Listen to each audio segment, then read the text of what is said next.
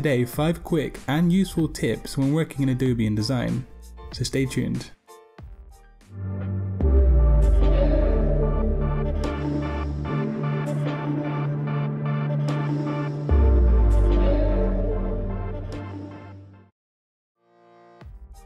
What is up people, welcome back to Satori Graphics, the home graphic design content right here on YouTube.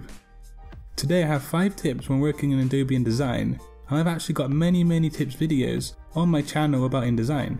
So if you want more videos just like this one, check out the links in the description below. The first tip today relates to the use of black in InDesign, which can be quite tricky when printing. Firstly, there is something known as rich black, which is made up of CMYK values such as 40, 40, 30 and 100. Rich black is excellent for large areas of black on your designs, such as logos or backgrounds for example. It prevents fading to a dull grey, which is especially useful for outdoor poster designs and flyers. However, the main body of text should always be process black, which is 000100.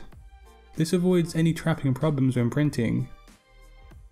So remember, large areas of black should be a rich black, and then main body of text should be process black.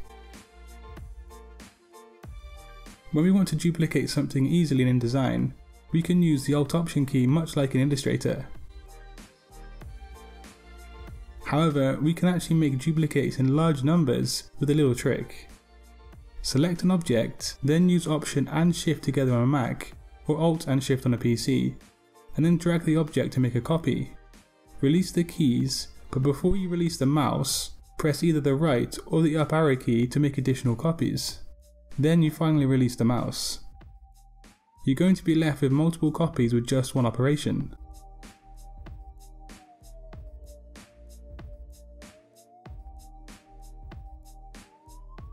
The third tip in today's video is an awesome feature that will allow you to change a phrase or a word across your entire design document.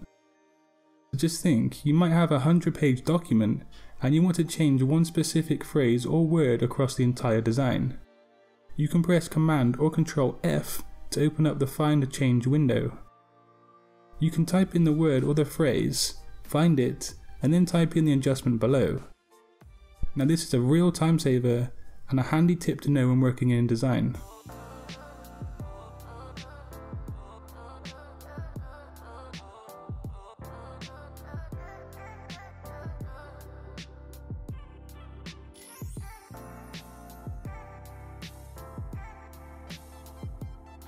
The fourth tip today is another time saver.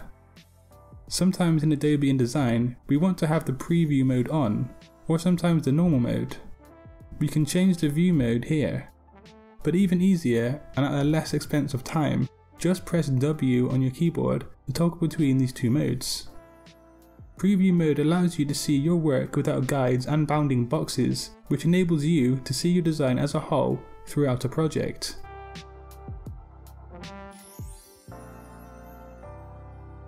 Before the final tip in today's video, if you want to expand your awareness and your skills as a graphic designer, subscribe to Satori Graphics for weekly graphic design content.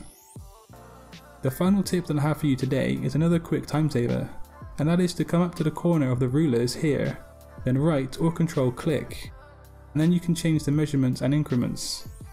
So maybe you want to work in inches as opposed to centimeters,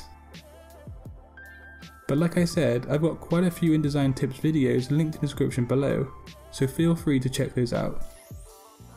Also drop a comment in the comment section below if you enjoyed this video, and also share it on social media so other people can see it too.